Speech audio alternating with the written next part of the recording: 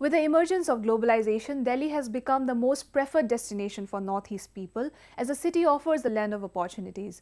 Having a good educational infrastructure with multiple choices of study and employment opportunities in central government jobs and private companies, the city has become a second home to many. And as a mark of celebration of diversity, the Naga Students Union Delhi organized an annual sports meet in India's capital city. Take a look. The capital city of India, New Delhi, houses premier education institutions of the country and is a blessing to many people from across the country. At the same time, there is a remarkably high volume of students from the Northeast who have made their presence felt on the basis of their excelling performances both in academics as well as in sports.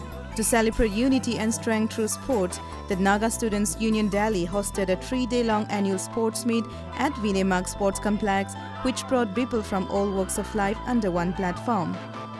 Celebrated under the theme Redefining Human Excellence Through Sports, the meet presented 12 teams from the region competing with high spirit and great enthusiasm. The meet also created a platform for students to come together and get closer to each other even though they are living far away from their homes. Uh, Nagas, we are of different tribes. Here in Delhi, we are more than 21.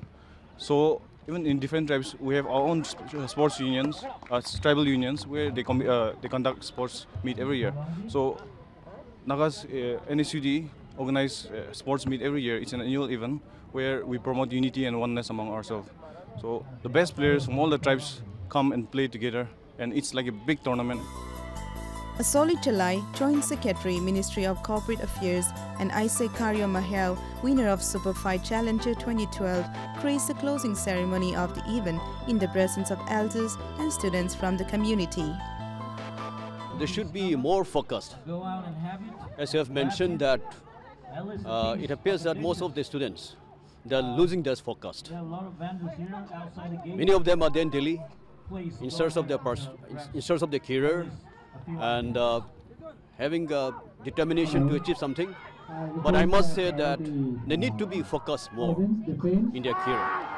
I'm not saying that they should not indulge themselves in sports, in games, but this would be just their hobby.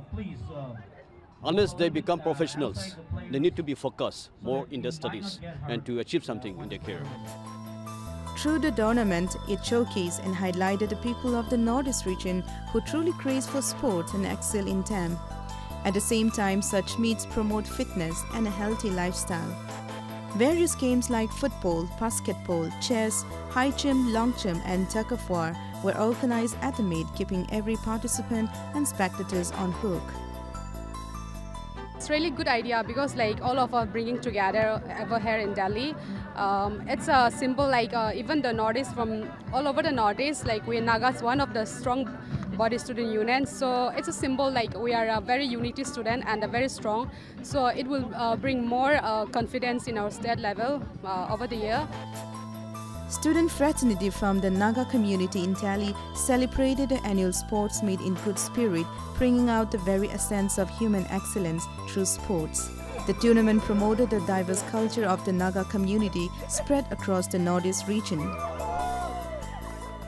It's been a great opportunity and then coming here together, being as a Naga, we are of diverse environment and then from different tribals in from Nagas from Manipur, Nagaland, Assam. Everybody came here to show us unity True sports is a good thing to do.